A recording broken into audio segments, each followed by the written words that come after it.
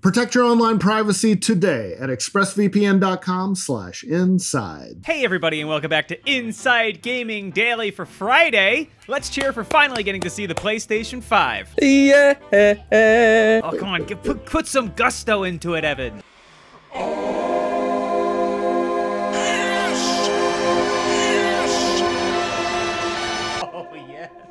Yesterday, Sony had their big unveiling of not just a bunch of games for the PS5. We also got a look at the console itself. It was definitely a bold choice. Don't see a lot of consoles with fins anymore. You know, that might have been video games back in the 50s, but uh, we've advanced. The design drew praise from some. I liked it. I thought it. I thought it worked. The way I thought about it, at first I was taken aback, and then I thought of the idea of finding one in 20 years in a Goodwill, and I'm like, that's gonna look awesome covered in dust. And I'm not even joking. Yeah, kids in tw- in 30 years are gonna look Yeah. at this and be like, "Oh my god, this is the most 20s thing ever." Um, but yeah, Sony also announced that there are gonna be two different versions of the PS5, one with child and one without. Uh, there's going to be a traditional disc-based one and an all-digital. So that's big news. We've seen Microsoft do this with the Xbox One. Obviously, Sony decided it was time too. Sorry, GameStop. That really is bad news for them, though. You know, it- it's just more and more just a nail in the coffin. We've been waiting for this moment for so long. I feel like since the promise of the the original Xbox One, when they got all that flack for for the rumors even being that they would remove the disc drive. You know, we didn't get a price of either console though. Still, right? Maybe Sony's still playing chicken with uh, Microsoft to see who blinks first. You announce a price. No, you. No, you. Oh, God, our cars are about to collide. yeah, folks are going to be lined up outside to buy it, and the, the employee's going to be like, I don't know how much it costs. I can't sell it to you. Every person has to haggle for it. yeah, yeah.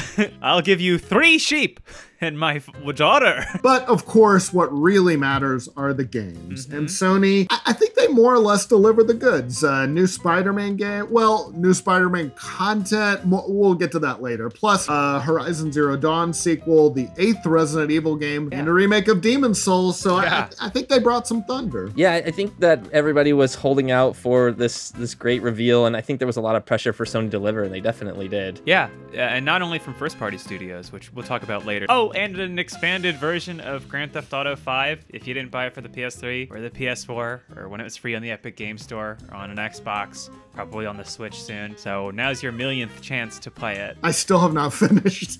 I got to the guy in the trailer park and it hit a little too close to home. So I, I put it down. I, I, I like I like the story a lot. Actually, when I heard the voiceover in the very beginning, I was like, "Is this it? Is this the story DLC that was rumored and then basically lost its place to online?" But GTA aside, this presentation was Sony doing what it does best, dramatically busting out high quality exclusives, uh, at least some of them. And while they've been knocked for being too slow to roll out details of the PS5, I feel like this presentation definitely quieted that criticism. They, they gave us a big, a big old meaty one. Yeah, it is kind of fun. Like when it all was theoretical, it's like the playing field seemed so even. Well, and also I think Sony laid some groundwork because they had a lot of good, like, original IP in the last generation. They had Horizon Zero Dawn. So now it's automatically exciting that we're going to get a sequel to that. Whereas I feel like Microsoft is going to have to kind of introduce a lot of new exclusives this generation. They might be good, but they won't kind of have that built in goodwill. So let's run down the highlights of what we saw. One of the big reveals was Spider-Man Miles Morales, putting Miles front and center of the game. Uh, best of all, it's out this holiday season, but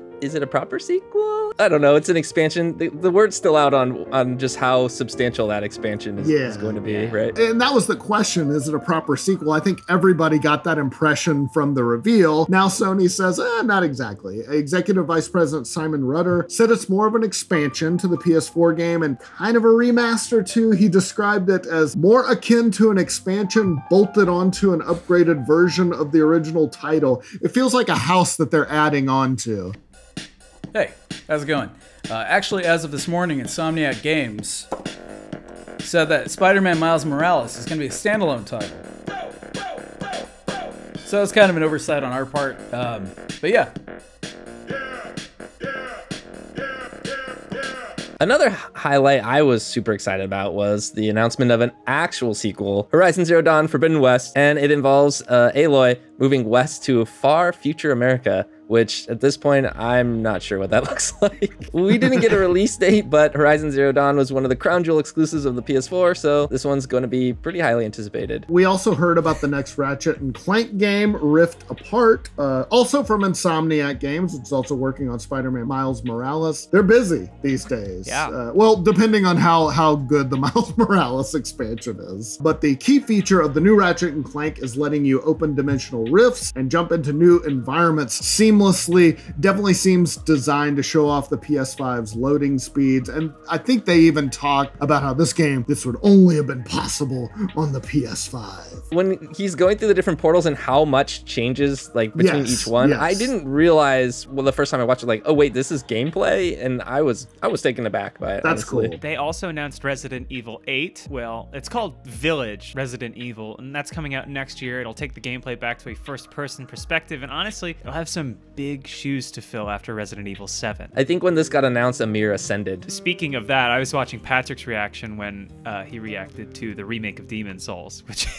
before he even knew what it was, he was like, Demon Souls. But yeah, so uh, the remake of Demon Souls, also a big headline. That's going to come from Bluepoint Games and Sony's Japan studio. If you have never played it, it was it was kind of the big sleeper hit back in 2009 for the PS3. It's kind of under the radar. Then everybody played it and they're like, hey, this game kind of rules. And then it was, of course, the precursor to Dark Souls, which of course was one of the most important games ever made. I, I feel safe saying that. And we've been hearing about a remake for Demon Souls for a while now. Certainly looked promising. I mean, it looked, uh, I don't know. This this game was uh, begging for a remake, so I'm glad to see it. And of course, since every new console needs a racing game, they announced that Gran Turismo 7 is in the works. A description said it builds on 22 years of experience to bring you the best features from the history of the franchise. Yeah, I mean, I have 22 years of journalism experience, but like two of those were just writing about pumpkin festivals and covering wrecks on the side of the road. that's hard hitting. Thank you. they also showed off a new LittleBigPlanet game, or at least one from that universe. It's called Sackboy: A Big Adventure, and it looks more more of a straight up platformer. This one, without all the build your own stuff and all that. But uh, it looks good. I, I don't know. I, I like that universe, and it's always fun to play in. Yeah, another big headline was Hitman 3, which is coming in January of next year. Agent 47 returns, and IO Interactive described it as the dramatic conclusion to the World of Assassination trilogy and takes players around the world on a globe-trotting adventure to sprawling sandbox locations. I love those games. I love what IO has done with them, and I'm really looking forward to that. Square Enix also unveiled a new game from the team that made Final Fantasy 15. It's from the studio Luminous Productions and it's called Project Athia. Looks kind of actiony. There was a lot of jumping. In a blog post, studio director Takeshi Aramaki described it as a thrilling, otherworldly adventure. He said it's going to be action packed and at times twisted, tempestuous, and forbidden. It'll have that tattooed on its forehead. We also saw a horror game called Ghostwire Tokyo from Tango Gameworks that's coming out next year, and a new Oddworld game, Oddworld Soulstorm. Also announced a game called uh, Pragmata from Capcom that's coming out in 2022. The trailer was pretty abstract and more than a little Kojima-ish, and it dares to ask the question, what if a cat was translucent? Uh, there was more stuff announced in the presentation. We're just kind of uh, hitting the highlights. Overall, definitely the big reveal that we've been waiting for from Sony. Uh, it, it to me, it seemed to recapture a lot of the momentum that they had kind of lost to Microsoft. They had kind of been dribbling out little bits of information about the Xbox Series X, just a little at a time, and and it felt like you know uh, for the for the last several months they had been kind of winning things, or at least just showing us more of, of what we could expect. But Microsoft's game reveal last month fell flat with gamers with some solid third party titles, but nothing super eye popping. You've probably seen that footage two dozen times on this channel. Yeah, they obviously have first party games in the works, but honestly, it seems like they should have led with that. I, I don't know. Marketing, it's a big part of rolling out a new console. You want to, you got to kick things off with a bang, lead with your heavy hitters. Do you think they were watching yesterday? They were like, we could have opened with GTA 5? Are you shitting me? yeah, it feels like Microsoft is leaning once again on the hardware and the value of Game Pass rather than any one particular game, while Sony again established itself as a place for exclusives. Yeah, it makes sense because, yeah, that's kind of what made PS4 such a big deal, and pouring money into exclusives basically forces people to look at all the pretty shiny games you got over there. Not that everything announced yesterday was an exclusive. There were definitely multi-plats in there. Uh, Hitman 3, Resident Evil 8, just to name a few. But I think Sony did a good job of sprinkling enough exclusives in there to make it feel like all the the big stuff was coming to PS5. Right, yeah. But it is not all lost for Microsoft. They hopefully have learned from their mistakes in the last generation, and they've been on a huge acquisition spree over the last few years, buying up some really well respected studios. It's just that we haven't seen all those games yet. Uh, Microsoft's next digital event is set for July. As of right now, when it comes to the marketing wars, it looks like Sony's back on top. I mean, I'm, I'm gonna I'm gonna get a PS5. Decided. This this did kind of sell it. I have a PC. I don't need an Xbox Series X. Uh, Evan, did it sell it for you? Think the thing I keep coming back to is that Ratchet and Clank trailer. I think that's like the only game that we saw that was really like, look at what this thing can do. Those types types of techniques applied to God of War is going to be phenomenal. Sony has never let me down with a console. I've never like regretted buying a PlayStation. Yeah. I definitely have with other companies. So it feels like, yeah, okay, uh, you know, you haven't you haven't let me down yet. I'll I'll trust you again.